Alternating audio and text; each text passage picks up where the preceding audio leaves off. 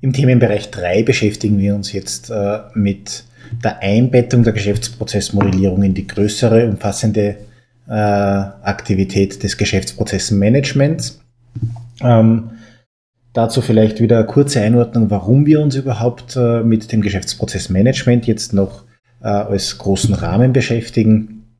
Ähm, die Modelle haben wir jetzt schon öfter gehört, stehen ja nicht für sich und sind ja nicht Selbstzweck, sondern die bauen wir immer für einen bestimmten Zweck, für eine bestimmte Zielsetzung und die ist üblicherweise äh, damit verbunden, dass wir die Arbeit äh, in einer Organisation, also die Aktivitäten in der Organisation äh, in irgendeiner Form verbessern möchten für die Akteure, aber auch für die betriebswirtschaftliche Effektivität und Effizienz unserer Prozesse und dementsprechend äh, möchte man sich äh, auch explizit und dezidiert mit diesen Aktivitäten, mit diesem Management von Geschäftsprozessen beschäftigen. Also nicht nur auf operativer Ebene arbeiten, sondern auch äh, strategisch, taktisch äh, sich mit den Prozessen der Organisation beschäftigen und äh, dazu beitragen, dass man die in irgendeiner Form auch laufend verbessern und optimieren kann.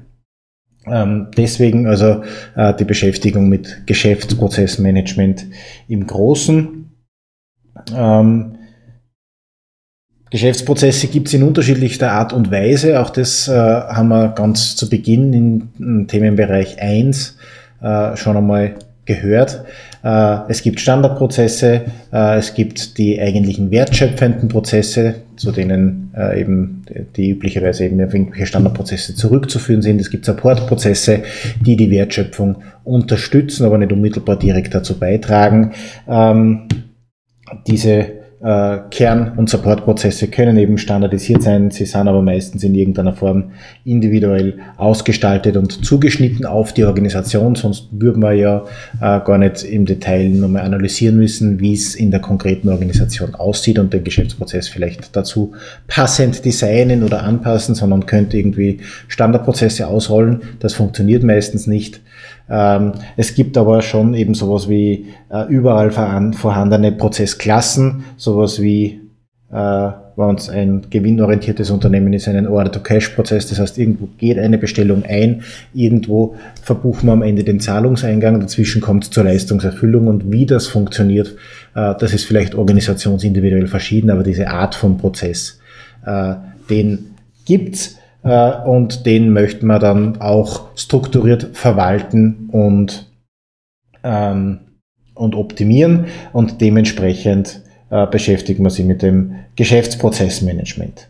Wir schauen uns das äh, ganze Feld, diesen ganzen Zusammenhangskomplex im ersten Thema dieses Themenbereichs äh, Einflussfaktoren auf Geschäftsprozessmanagement dann noch einmal im Detail an, bevor wir auf die einzelnen Aktivitätsbündel des Geschäftsprozessmanagements eingehen. Also wo es hier äh, im ersten Thema um den Kontext geht, geht es im zweiten Thema um die Aktivitäten, die im Rahmen des Geschäftsprozessmanagement zur Ausführung kommen. Ähm, das wiederum stellt uns den Rahmen für die nächsten äh, beiden Themen oder nächsten vier Themenbereiche zur Verfügung. Das ist einerseits äh, sind jene Aktivitäten, die mit der Erhebung und Analyse von Geschäftsprozessen zu tun haben, wo es also eigentlich dann um äh, die Modellierung an sich und die Sammlung von Informationen für die Modellierung geht. Ähm, äh, und ich springe mal eins weiter, ganz kurz äh, darauf folgend um die Ausführung von Geschäftsprozessen, wo es darum geht, wir haben bereits die Modelle und die müssen jetzt in der Organisation verankert werden, sonst müssen wir ja, müssten wir ja nicht äh, die Modelle überhaupt bauen, die bauen wir ja nicht zum Selbstzweck, sondern hier geht es dann darum, wie man diese Modelle verwenden kann, um dann mit äh, Informationssystemen eine konkrete Unterstützung zu realisieren. Das ist dieses Thema Ausführung von Geschäftsprozessen. Dazwischen steht das Thema Qualität von Prozessmodellen, weil es darum geht, dass die Modelle, die wir erheben, damit wir sie nachher ausführen können oder verwenden können, bestimmten Qualitätskriterien entsprechen müssen. Und diese Qualitätskriterien, die schauen wir uns in diesem Zwischenthema nochmal genauer an.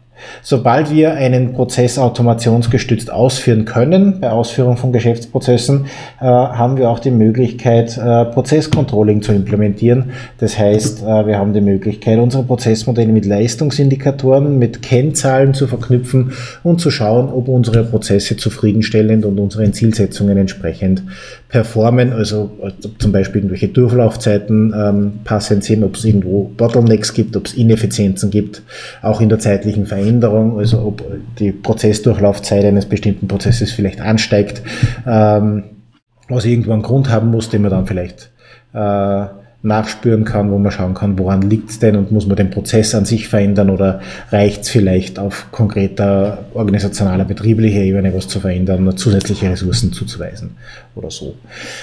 Äh, solche Maßnahmen das ist das ganze Konvolut, äh, gibt einmal einen Überblick über das Geschäftsprozessmanagement im Ganzen und dessen äh, operative Komponenten und soll also eine erste Annäherung an die äh, Zielsetzung der Geschäftsprozessmodellierung. In der Lehrveranstaltung an sich geht es ja um die Modellierung, äh, an die, Ziel, die Zielsetzung der Geschäftsprozessmodellierung geben, so zeigen, dass das mehr ist als nur Zeichnen, sondern tatsächlich einen unmittelbaren betrieblichen organisationalen Mehrwert schaffen kann.